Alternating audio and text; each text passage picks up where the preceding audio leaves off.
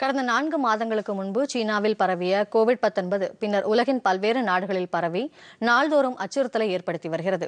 இந்நோய் தொற்றால் பாதிக்கப்பட்டோரின் எண்ணிக்கை அதிகரித்து வரும் அதே வேளையில் குணமடைந்தவர்களின் எண்ணிக்கை உயர்ந்து வருவதும் சற்று ஆறுதல் அளிக்கும் சர்வதேச நாடுகளை ஆட்டி படைத்து வரும் கோவிட் 19 தொற்றால் பாதிக்கப்பட்டுள்ளோரின் எண்ணிக்கை இருபத்தி ஐந்து லட்சத்து ஐம்பத்தி ஐந்தாயிரமாக அதிகரித்துள்ளது.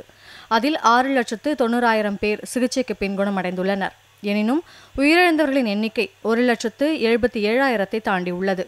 இந்நிலையில் அமெரிக்காவின் மிசோரி மாகாணம் நோய் தொற்றால் கடுமையாக பாதிக்கப்பட்டுள்ளதை அடுத்து நோய் பரவலுக்கு காரணமாக சீனா இருப்பதாக கூறி நஷ்டஈடு தொகை அந்நாடு வழங்க வேண்டும் என்று நீதிமன்றத்தில் வழக்கு தொடரப்பட்டுள்ளது.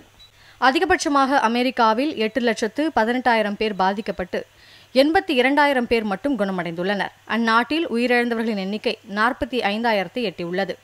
கடந்த இருபத்தி நான்கு மணி நேரத்தில் மட்டும் இரண்டாயிரத்தி எண்ணூறு பேர் உயிரிழந்ததாக தகவல்கள் தெரிவிக்கின்றனர். தொடக்கத்தில் வேகமாக நோய் தொற்றுக்கு ஆளான இத்தாலியில் ஒரு லட்சத்து எண்பத்தி மூன்றாயிரம் பேர் பாதிக்கப்பட்டு பின்னர் ஐம்பத்தோராயிரத்து அறுநூறு பேர் குணமடைந்துள்ளனர். இருபத்தி நான்காயிரத்து அறுநூறுக்கும் மேற்பட்டோர் உயிரிழந்துவிட்டனர். ஸ்பெயின் நாட்டில் இரண்டு லட்சத்து நான்காயிரம் பேர் பாதிக்கப்பட்டு எண்பத்தி இரண்டாயிரம் பேர் குணமடைந்துள்ளனர். இருபத்தோராயிரத்திற்கும் மேற்பட்டோர் உயிரிழந்தனர். பிரான்சில் ஒரு லட்சத்து ஐம்பத்தி எட்டாயிரம் பேர் பாதிக்கப்பட்டு முப்பத்தி ஒன்பதாயிரம் பேர் குணமடைந்துள்ளனர். இருபதாயிரத்து எழுநூறுக்கும் மேற்பட்டோர் உயிரிழந்துள்ளனர். இங்கிலாந்தில் ஒரு லட்சத்து இருபத்தொன்பதாயிரம் பேர் பாதிக்கப்பட்டு பதினேழாயிரத்து முன்னூறுக்கும் மேற்பட்டோர் உயிரிழந்தனர். ஜெர்மனி ஈரான் ஆகிய நாடுகளில் ஐந்தாயிரத்திற்கும் மேற்பட்டோர் உயிரிழந்த நிலையில் பெல்ஜியம் நாட்டில் உயிரிழந்தோர் எண்ணிக்கை ஆறாயிரத்தை நெருங்குகிறது.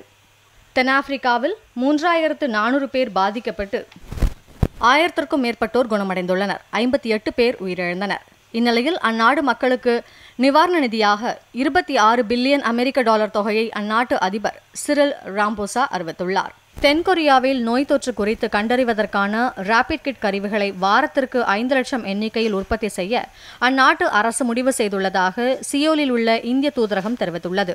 தென்கொரியாவில் பத்தாயிரத்திற்கும் மேற்பட்டோர் பாதிக்கப்பட்டுள்ளனர். பங்களாதேஷில் மூவாயிரத்து முன்னூறுக்கும் மேற்பட்டோர் பாதிக்கப்பட்டு எண்பத்தி ஏழு பேர் மட்டும் இதுவரை குணமடைந்துள்ளனர். நூற்று பத்து பேர் உயிரிழந்தனர். இதற்கிடையே இந்தியாவிலிருந்து பங்களாதேஷ் நாட்டை சேர்ந்த நூற்று அறுபத்தி ஒன்பது பேர் டாக்காவிற்கு அனுப்பி வைக்கப்பட்டுள்ளனர்.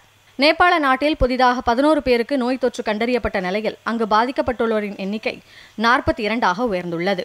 இலங்கையில் முன்னூற்று பத்து பேர் பாதிக்கப்பட்டு அதில் நூற்று இரண்டு பேர் குணமடைந்துள்ளனர். ஏழு பேர் உயிரிழந்தனர். நோய் பரவ தொடங்கிய சீனாவில் எண்பத்தி இரண்டாயிரத்து எழுநூறு பேர் பாதிக்கப்பட்டு எழுபத்தி ஏழாயிரம் பேர் குணமடைந்துள்ளனர். நான்காயிரத்து அறுநூறுக்கும் மேற்பட்டோர் உயிரிழந்ததாக தகவல்கள் தெரிவிக்கின்றனர்.